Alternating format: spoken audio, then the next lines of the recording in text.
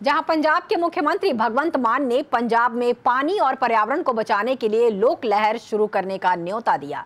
CM ने संत अवतार सिंह जी की चौंतीसवीं बरसी के मौके पर समारोह में भाग लेने पहुँचे।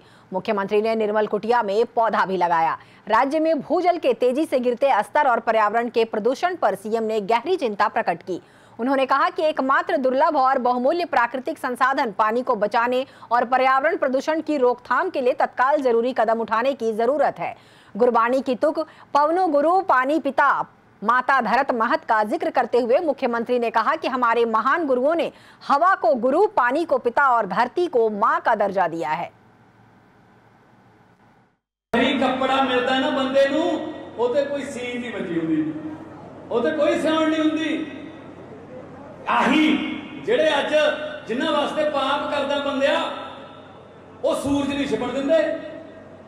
ਕਹਿੰਦੇ, ਚੱਕ ਲੋ ਭੂਆ, ਬਾਅਦ ਚਾਲੂ ਦੇਖੀ ਜਾਓ ਫੁੱਲਾਂ ਤੇ ਆਜੂ। ਕਿਹਨਾਂ ਚੱਕੋ।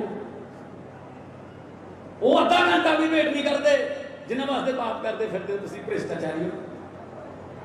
ਸੋ ਦੇਸ਼ ਲਈ, ਪੰਜਾਬ ਲਈ ਜਾਨ ਹਾਜ਼ਰ ਹੈ। ਤੁਸੀਂ ਐਡਾ ਵੱਡਾ ਫਤਵਾ ਦਿੱਤਾ। ਧੰਨਵਾਦ ਕਰਨ ਲਈ ਮੇਰੇ ਖਿਆਲ 'ਚ ਜੇ ਮੈਂ ਹਰੇਕ ਸਾਹ ਤੋਂ ਬਾਅਦ ਵੀ ਧੰਨਵਾਦ ਕਹਾਂ, ਤਾਂ ਵੀ ਮੈਨੂੰ ਕਈ ਜਨਮ ਲੈਣੇ ਪੈਣਗੇ। ਤੁਹਾਡਾ ਪਿਆਰ ਦਾ, ਤੁਹਾਡੇ ਸਤਿਕਾਰ ਦਾ, ਮਾਨ ਸਨਮਾਨ ਦਾ ਕਰਜ਼ਾ ਉਤਾਰਨ ਲਈ। ਸੋ ਮੈਂ ਹਮੇਸ਼ਾ ਤੁਹਾਡੇ ਨਾਲ ਆ ਤੁਹਾਡੇ ਵਰਗੇ ਆ ਐਂ ਰਹਿੰਦੇ ਆ ਐਂ ਰਹਾਂਗੇ। ਦੋ ਸ਼ੌਰ ਸ਼ੋਹਰਤਾਂ, ਦੌਲਤਾਂ ਦੇਖੀਆਂ ਹੋਈਆਂ ਨੇ। ਕੋਈ ਲਾਲਚ ਨਹੀਂ ਕਿਸੇ ਕਿਸਮ ਦਾ। ਹਿੱਸਾ ਨਹੀਂ ਪਾਉਣਾ ਕਿਸੇ ਖੱਟ ਚ ਰੇਤੇ ਦੀ ਚ।